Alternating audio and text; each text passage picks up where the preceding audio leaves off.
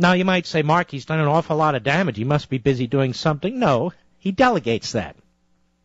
His aides, the bureaucracy, members of Congress, their aides, they put together these massive transforming bills, and he signs them. But the day-to-day activity of really paying attention and what's going on, Obama's not there. I would love to know what this guy does during the day.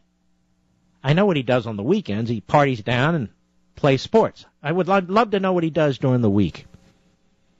How can you be slow to enter the budget fight? That's what the Democrats are accusing him of today, when there's so much at stake for the nation.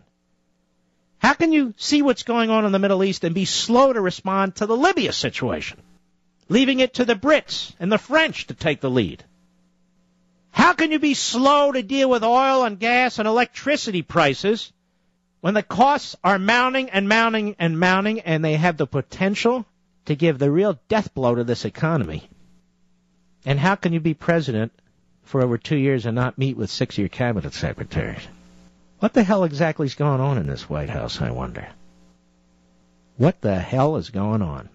And yet the man has time to interfere in Wisconsin, time to interfere in Arizona, time for what he wants to do. 100 to 200 billion dollars in overlap, mismanagement, inefficiencies. And by the way, that doesn't even include our entitlement programs. Tens of billions of dollars in waste and fraud in Medicare and Medicaid and Social Security. But ladies and gentlemen, Obama promised us with Obamacare it would actually be more efficient. They'd actually be able to address the debt. And yet, here he is, President of the United States, the one person in charge of cleaning up the way the federal government is managed. And he hasn't done a damn thing. I'm guessing he'll set up a commission one day, much like the Deficit Commission, to oversee these things. They'll issue a report and he'll ignore it. Reagan, one of his first acts was to set up the Grace Commission, which came up with hundreds and hundreds, if not thousands, of proposals. Big, thick book of proposals, the vast majority of which were implemented in his first term.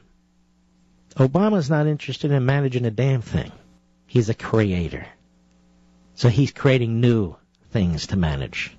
After all, presidents don't go down in history for being good managers, for ensuring efficiencies in government. They go down in history for creating great things, big things, for caring for people, for showing compassion. At least that's what they say.